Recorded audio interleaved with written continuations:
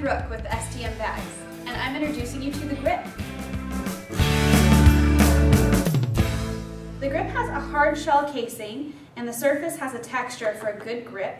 It snaps into place here to keep it secure, and it also has the automatic on-off feature. So it turns on when you open it, turns off when you close it.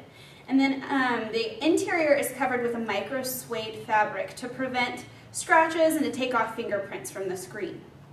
The grip has spaces for all of the portals, the camera, uh, the charging portal, and the speaker. The grip fits both iPads 2 and 3. There are two viewing angles with the grip. There is the reading angle with the kickstand, and then there's also the typing angle. This is the grip from STM, and it comes in four colors.